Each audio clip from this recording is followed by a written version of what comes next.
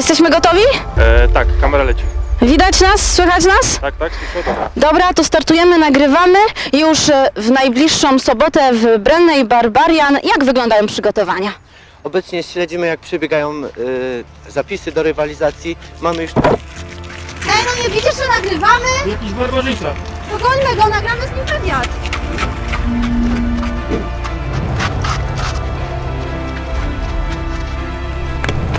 Ja już nie mogę. Nagramy, nagramy wywiad z organizatorem.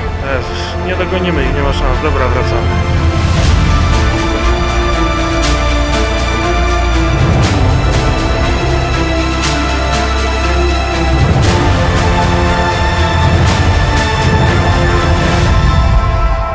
Meta Barbarian Challenge przed sceną amfiteatru. Wreszcie cię dogoniła. Barbarian jest za tydzień. Jak widać, dużo się tutaj dzieje, ale wróćmy do wywiadu. E, Meta tutaj, a start? Start również będzie przed sceną amfiteatru. Co jeszcze czeka na uczestników? Jak będzie wyglądał ten tor przeszkód?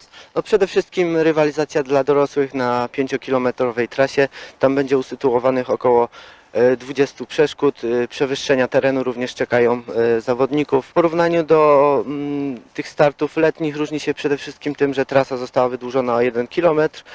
No i myślę, że to w jakiś sposób urozmaici i uatrakcyjni te rywalizacje w porównaniu do tej, która odbywała się w latach ubiegłych w lecie. Barbarian w takiej wersji zimowej e, to chyba dodatkowe utrudnienie.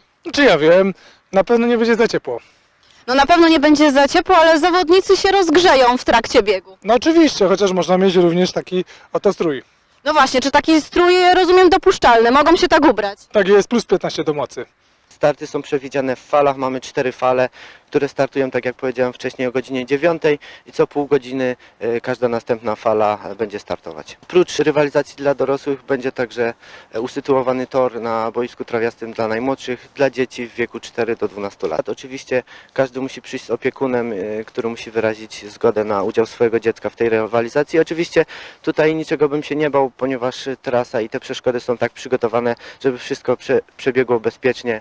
Jak się przygotować odpowiednio do, do takiego biegu? Jakieś tutaj wskazówki dla uczestników? No myślę, że przygotowania ogólnorozwojowe, no i trzeba się przede wszystkim dobrze bawić. Jak wyglądają Twoje przygotowania do biegu, który już w najbliższą sobotę?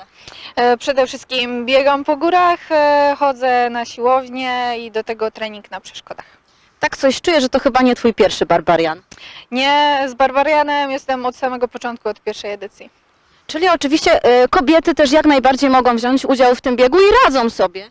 Oczywiście, że tak. Kobiety nieraz udowadniają, że są o wiele silniejsze i bardziej wytrzymałe od mężczyzn.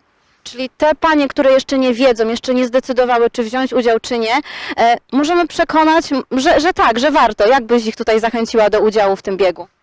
E, Myślę, że przede wszystkim no, muszą spróbować, odważyć się, e, a potem zobaczą, że naprawdę warto. O której e, godzinie rozpoczęcie? Rozpoczęcie startów y, dla dorosłych o godzinie 9, natomiast y, starty dzieci zaplanowaliśmy na 10. Co trzeba zrobić, żeby się zapisać? W jaki sposób można się zgłosić? Przede wszystkim trzeba mieć chęć do rywalizacji właśnie w tego rodzaju biegach, a jeżeli już taka chęć się pojawi, to wystarczy się zapisać poprzez stronę barbarianrace.pl. Barbarian jest biegiem widowiskowym? No pewnie, słuchajcie, y, nawet dla osób, które nie biorą w nim udziału, nawet dla osób, które nie biegają na co dzień, które bardzo rekreacyjnie traktują sport, to jest mega widowiskowe, e, to w jaki sposób ci ludzie pokonują te wszystkie przeszkody, ile mają determinacji w sobie e, i jak dobrze się przy tym bawią, to jest coś, co bardzo zaraża, e, daje taką bardzo pozytywną energię, ale z drugiej strony mnie osobiście to też niesamowicie przeraża. Uważam, że oni są wszyscy trochę szaleni. Czyli co, no zapraszamy. Oczywiście zapraszamy wszystkich chętnych. Barbarian Challenge w Brennej już w następną sobotę.